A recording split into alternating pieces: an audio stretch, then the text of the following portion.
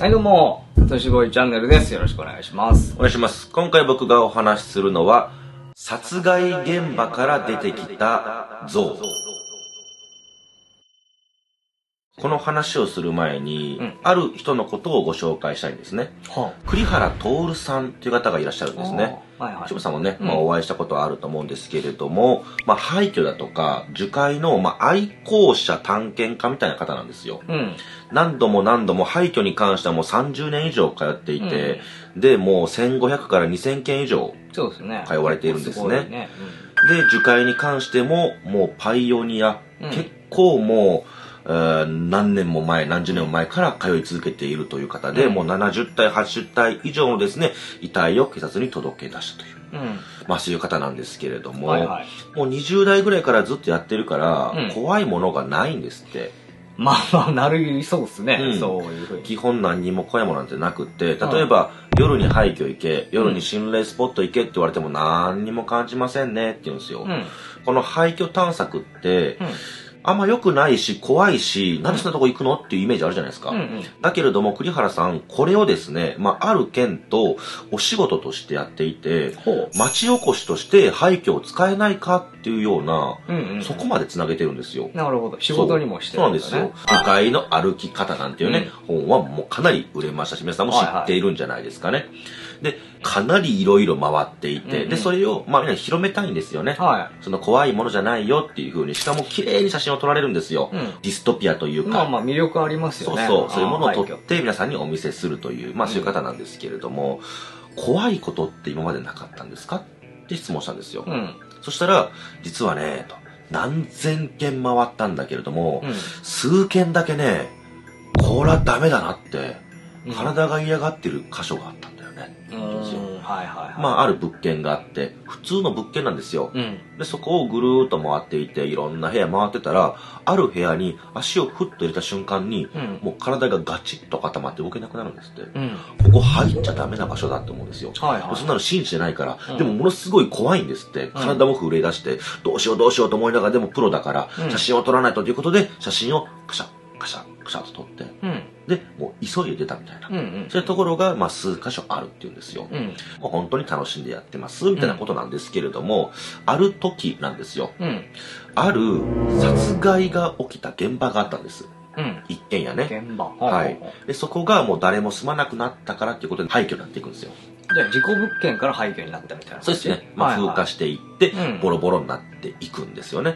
で、そこをちょっと探索しようと思っていくんです。うん。お昼間にね。そしたら、まあ、あるあるらしいんですけど、うん。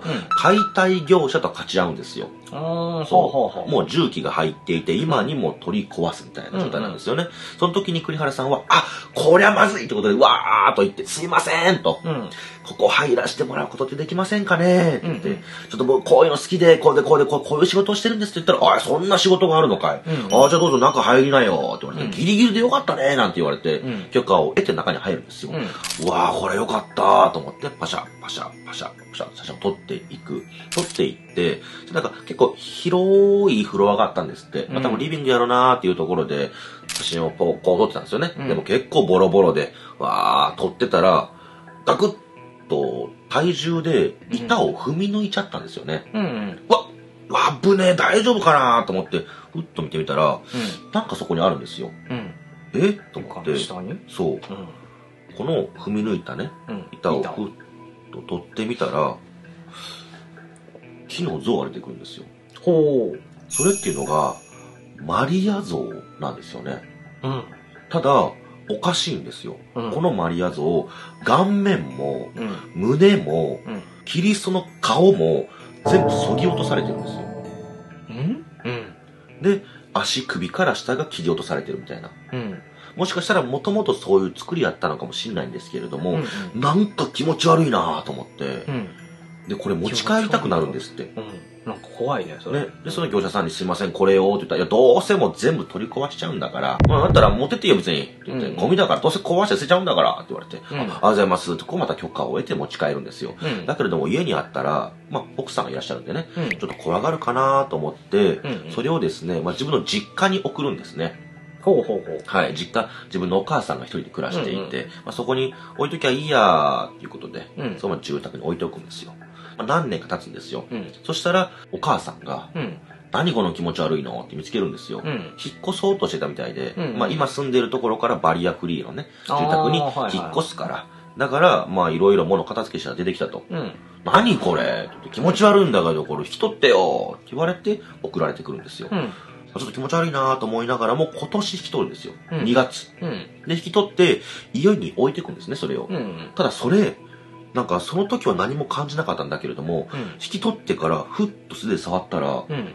あの、自分が30年かけてうん何千件もあった中の数件うん。入れない、もう本当に恐ろしいって思った場所があったと。はいはい。その時と同じ感覚になるんですって。へえ。触ったら。触ってなったんだ。震えるし、体も震えるし、うん。うわ、怖いこれって思って、軍手つけるようになったんですよ。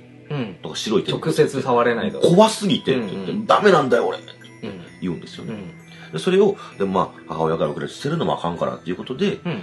家に置いておくんですよ。うん。そしたらおかしなことが起きるんですね。はいは1月に初詣に行って、うん札を貼ってたんですけど。その札が、引き取ってすぐにボロッと落ちるんですよ。え、うん何これ？うん。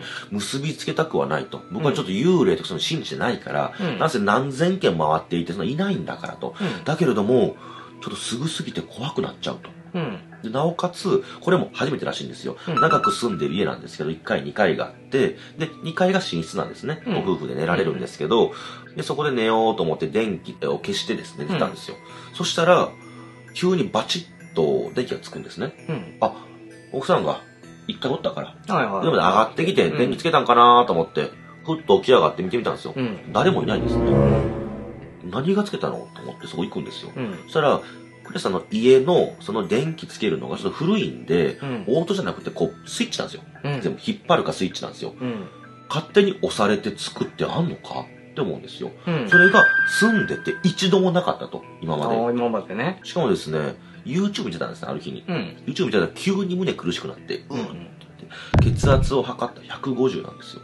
うん。で、うわ、これなんやねんと思ってて、ちょっと休んだら130に戻るみたいな。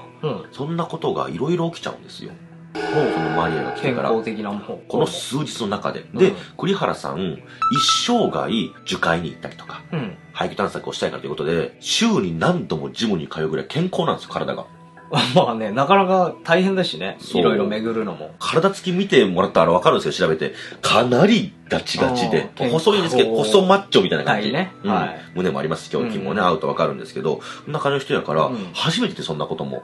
まあ気をつけてるってことでしょ、普段から。なんだこれ。うん。で確かに。変でだよね。怖くなっちゃうんですよ、もうそのマリアを。結びつけちゃって全部をね。うん。